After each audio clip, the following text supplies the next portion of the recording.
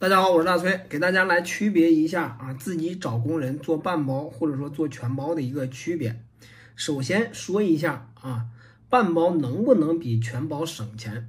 不能啊，半包呢只会你的区别就是你能够别人能够帮你找到更合适的工人，帮你来协调整个装修的一个流程啊，仅此而已。你的省钱呢，全包相对会更省钱。因为你如果说你预算比较准的话啊，就是你就十万块钱，你超一点你就接受不了的话，全包能够做到，但是半包一定做不到，因为你后期选的东西一定是越来越好，一定会超预算。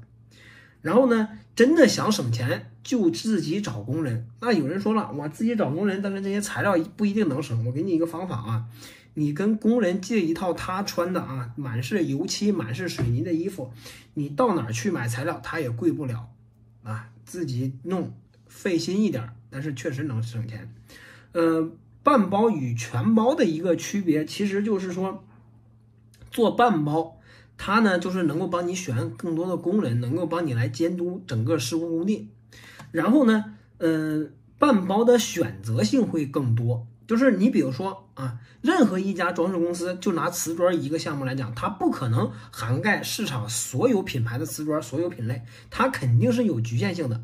但是你半包就不一样了，半包的话，你的瓷砖随便自己选，对吧？你想这个品牌三十五十七十八十都可以选，但是全包一定是有一个价格区间，一定是有一些品牌的限制。所以说你要是特别个性啊，你想做一个相对个性，或者说嗯你的品味比较高。你就不要选择全包啊，半包适合你。那些主材你自己去选，高的低的你自己去选啊，这样的会更合适。那么哪些人会更适合于全包呢？第一，确实没有时间啊，没时间弄是吧？你你根本就不用提你省不省钱，再省钱你没时间你怎么办？所有的东西都是要建立你有时间来去你自己去操作才能省钱。那么你没时间，你肯定要做全包。第二个呢，就是你想绝对性的省心，就是。别人都能够帮我啊选好这个，我也相对来说自己来说左左摇右晃的那种犹豫的比较多的情况下，你就适合全包，人家有可以专门的帮你选好搭配啊，这样呢你就相对更省心了一点。